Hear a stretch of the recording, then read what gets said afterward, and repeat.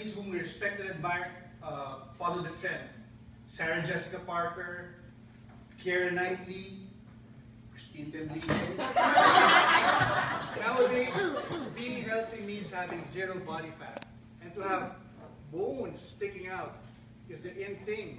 Is it fashionable? Well, look around you. People in skinny jeans, how on earth can they fit into those tiny little things? What's with the lips?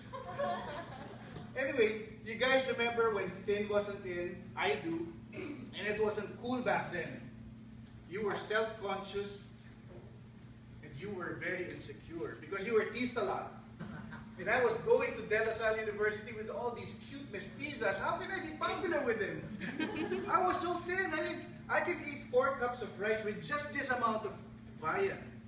But truth of the matter is, it never really changed anything. People liked me for who I was. A class clown, basketballista, loyal friend, and yes, even katawang pangromansa, which they missed. I guess the idea of having a body is what equated to being popular. So friends, I think what really matters is that we should learn to love who we are. Because it's that beautiful personality that we have that people truly appreciate. I think what we should try to strive for is to have a healthy body and a healthy mind full of, uh, free from stress.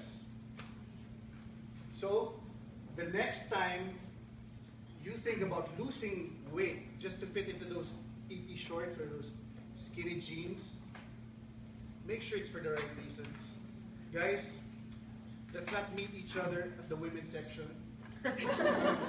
Ladies, stop trying to impress the men who are caring, loving, and good-natured and good-looking. They all have boyfriends. Love yourself.